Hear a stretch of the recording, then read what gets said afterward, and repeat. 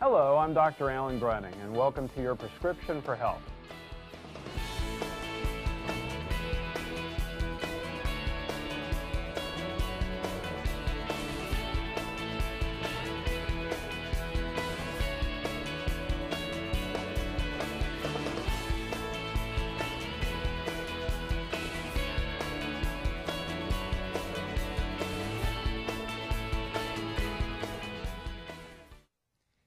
I'm Dr. Alan Gruning, and welcome to your prescription for health.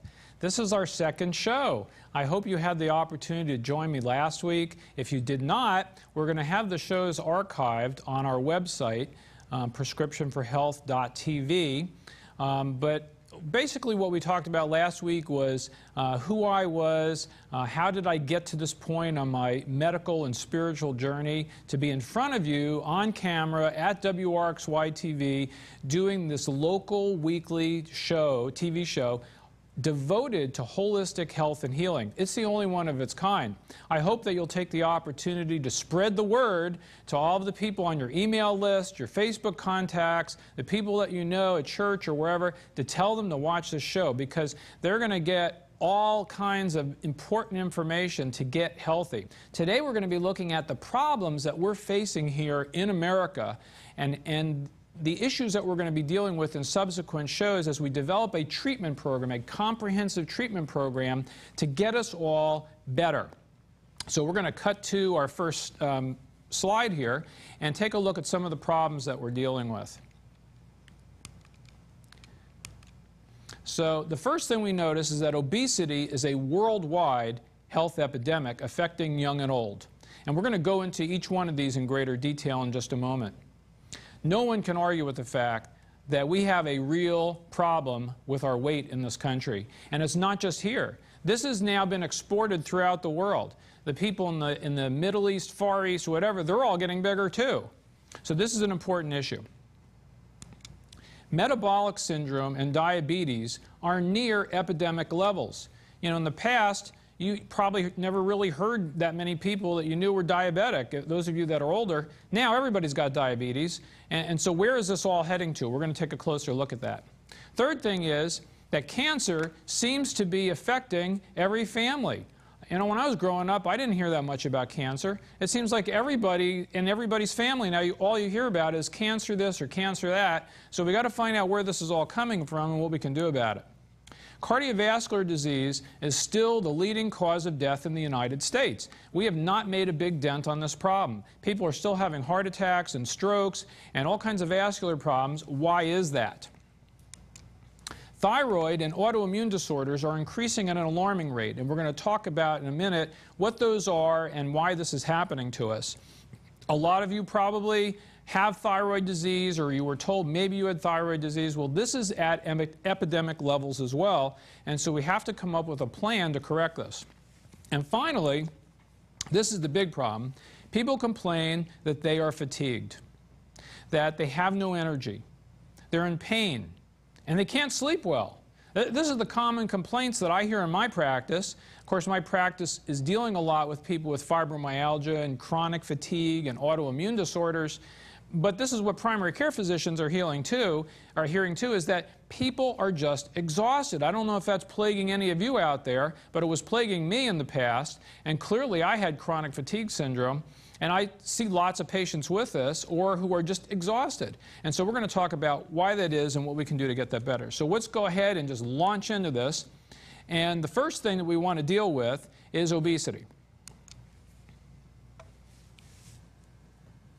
So using the body mass index of 25 to 30, which is what the government uses as an estimate of overweight, and over 30 as obese, then more than one third of adults in the United States and 17% of our children and adolescents are obese. That's very disturbing. That wasn't the case in the past. You know, if you look at videotapes or movie reels, whatever, of people back in the 40s and 50s and even 60s, you didn't see a lot of obese people. What in the world has happened in this country? The next thing is that adults age 60 and over are more likely to be obese than younger adults. That wasn't always the case. And also, men and women are equally obese. Uh, that wasn't always the case either. Um, but clearly, as you get older, you're at greater risk for developing this problem of obesity.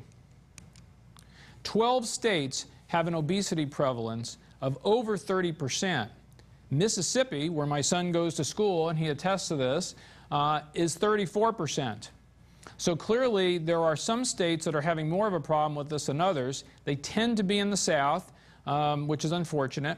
So we have to find out why that is and what we're going to do about it.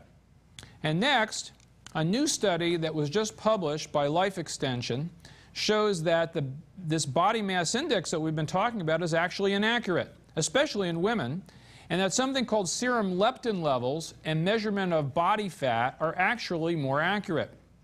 So if we use those measures, the obesity epidemic is even greater than what we are being told. This is very scary. Next, we're going to take a look at the causes of the obesity epidemic. So clearly, by, by far, as far as I'm concerned, the biggest cause is genetically modified wheat. Now, most of you are probably not that familiar with why this thing is so bad for you. Okay, this, this box of pasta is death on a plate. So why is that? Why is, why is wheat, bread, pasta, all these things so bad for us? You know, wheat is a biblical grain. If you read through the Old Testament, Israel's cycles, uh, harvest cycles, were all built upon the cycles of wheat harvest and barley harvest. So, so wheat is a biblical grain that's extremely essential for many populations in the world. Why is it so detrimental to us here in the United States? And the reason is because of the way companies have genetically modified it. And this began in the 50s and 60s and it's continued on eh, to increase crop yield and to uh, make the um, uh, wheat more disease resistant. But along the way, they've changed the wheat so that now it doesn't even look like wheat anymore. And so when you eat it, it doesn't act like wheat in your body, it acts like a poison. It acts like a toxin. In fact, it's a very high glycemic food. And so as you eat wheat, you're actually eating something that's extremely bad for your blood sugar and for your body. And this is one of the reasons that we're having an obesity epidemic, and we're going to talk more about this um, next week.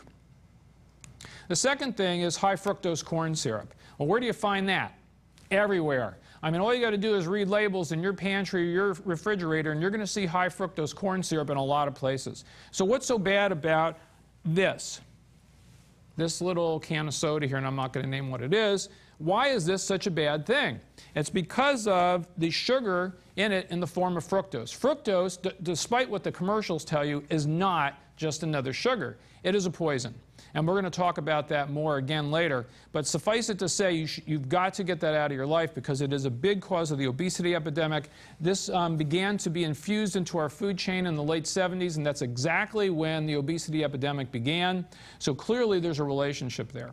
Third thing is sugar sweetened beverages. Now, this is not just sodas.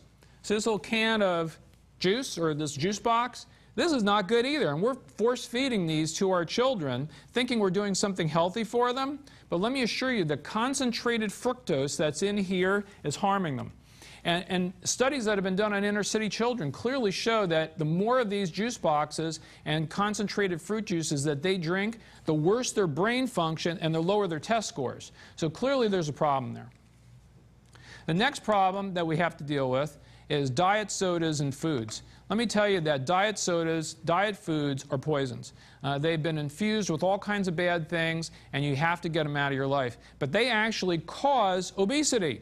Uh, you would think, okay, I'm having a diet drink or a diet food, it must help my blood sugar, and it must be better for me to lose weight. Well, actually, studies show clearly that it's not. It's actually making you worse. You're actually going to gain weight by eating diet foods and drinking diet soda.